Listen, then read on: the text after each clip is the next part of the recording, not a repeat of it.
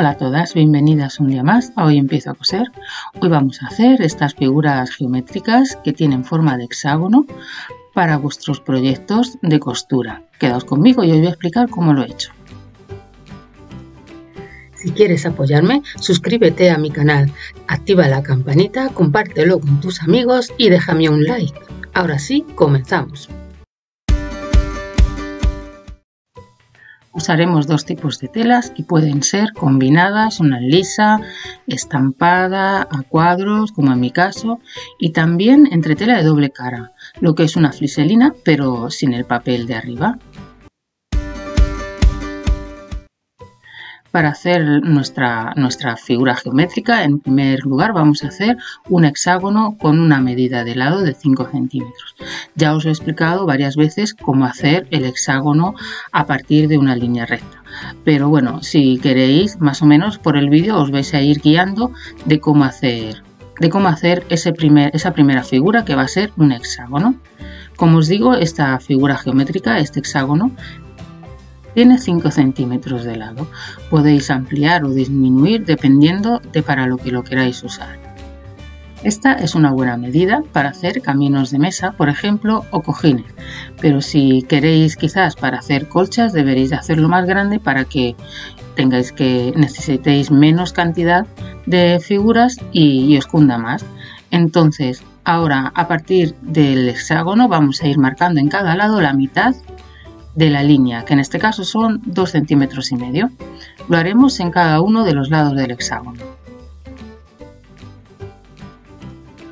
Ahora, en cada punto que hemos marcado le vamos a hacer hacia afuera una marca a un centímetro y medio.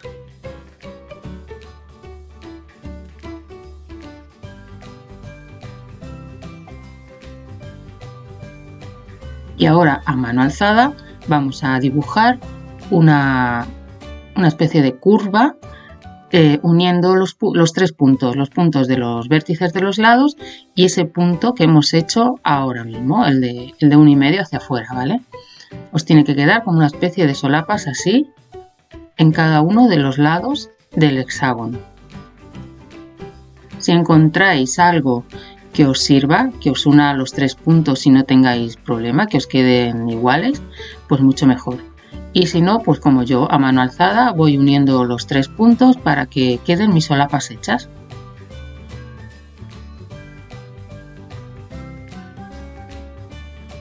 Y ahora que ya tenemos nuestra figura hecha, la vamos a recortar. Una vez recortada nos tiene que quedar así.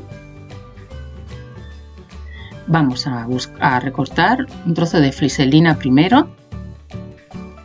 Encima le vamos a poner el trozo de tela liso y encima del liso el estampado. Cogemos nuestra figura, la ponemos encima y la vamos a marcar todo alrededor de la figura. Si vuestras telas tienen derecho y revés, pues ya sabéis, dejáis los derechos enfrentados entre las dos telas, que queden juntitos y ya por el revés vais marcando la figura geométrica.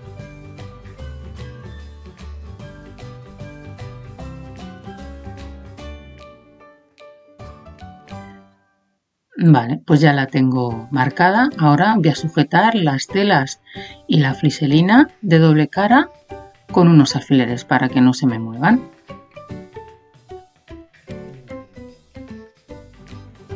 Pongo tres o cuatro alfileres y ahora voy a ir a máquina a pasarla por toda la línea que hemos marcado. Una vez que la tengáis cosida, quito mis alfileres ¿Veis cómo ha quedado también cosida por el otro lado? Y cojo mis tijeras y empiezo a recortarlo dejando una costura chiquitita, como de medio centímetro o menos. Si podéis recortarla sin problema con 3 milímetros, pues mejor todavía. Pero mucho cuidadito de no recortar el pespunte que hemos hecho a máquina.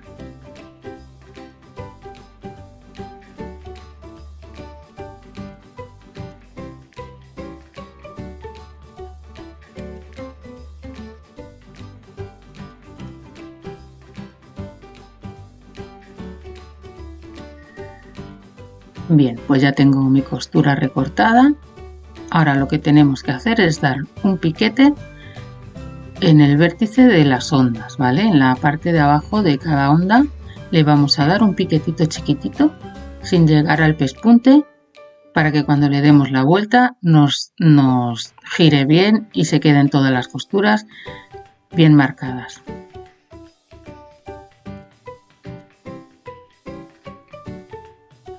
Este ya está. Bueno, pues ya tengo mis piquetes. Ahora lo que hago es separar las telas y por la tela que se va a ver, la tela de arriba, que en este caso es la del cuadros, voy a dar un piquete y hacer una abertura como de 2 o 3 centímetros, no mucho más, hacia un lado y hacia otro. Así, un poquito más, y llega, si fuera necesario, a los lados. Y vamos a dar la vuelta. Sacamos la tela al derecho.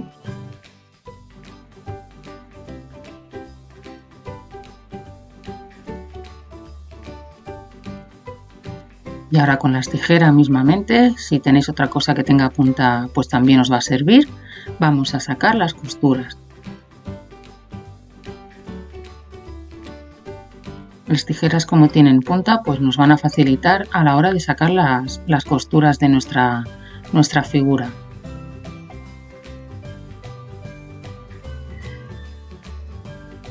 Y ahora colocamos todo bien y lo vamos a planchar. Una vez que lo tengamos planchado vamos a recortar las ondas del hexágono y nos vamos a quedar con el hexágono solo. Recortamos por la línea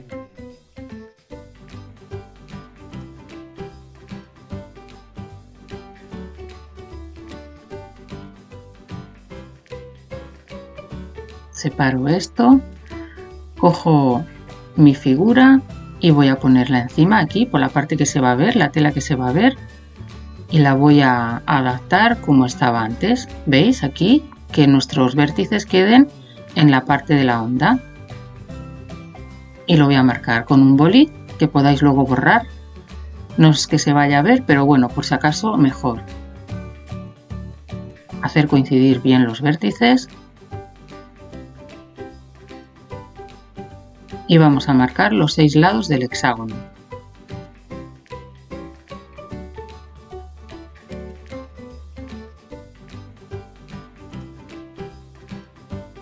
Y este ya será el último lado. Ahora vamos a pasar un pespunte por cada una de las marcas. Una vez cosido, volcamos hacia el derecho o hacia la parte de cuadros la solapa la sujetamos con un alfiler. Hacemos bien los vértices para que queden exacto el hexágono. Porque si queréis hacerlo para, para una colcha o queréis hacerlo para un camino de mesa, así os van a quedar todos los lados iguales y luego si los coséis entre sí, las, las figuras pues os van a quedar perfectas.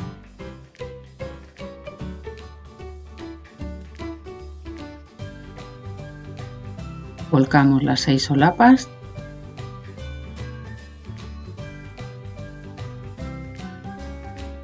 y esta ya será la última.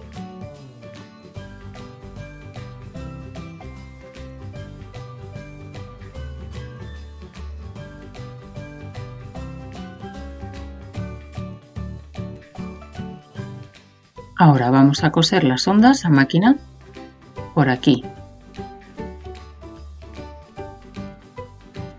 En el medio, para, tapar el agujero que hemos hecho para darle la vuelta, podemos poner un círculo o un hexágono.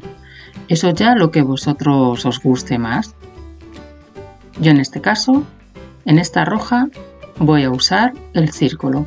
Cojo el círculo, le marco y dejo una costura como de un centímetro todo alrededor.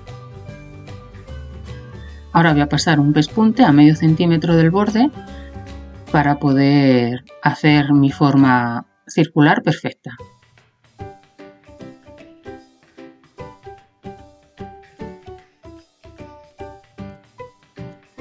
Ahora ya ponemos el círculo dentro bien centradito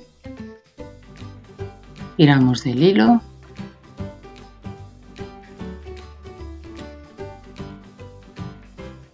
Que se quede bien fruncido y bien centrado. Y le damos unas puntadas para rematarlo.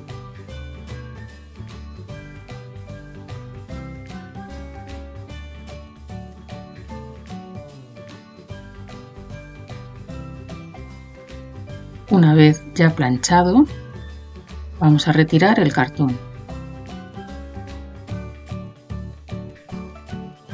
Sacamos con mucho cuidado para que no se nos quite la forma. Lo vamos a poner en el centro de la figura. De esta manera tapamos la abertura que hemos hecho para darle la vuelta y a la vez nos va a servir como decoración y lo vamos a coser todo alrededor. Yo lo he cosido a máquina, como estáis viendo, pero podéis coserlo también a mano. Y ya tendremos nuestra figura hecha.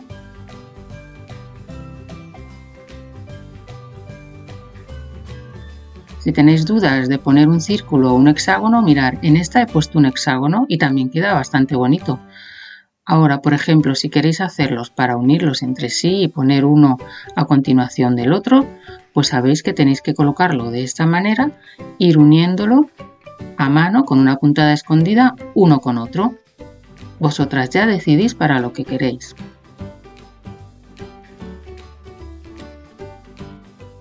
Si te ha gustado el vídeo, dale al like, compártelo en tus redes sociales. No olvides suscribirte y activar las notificaciones.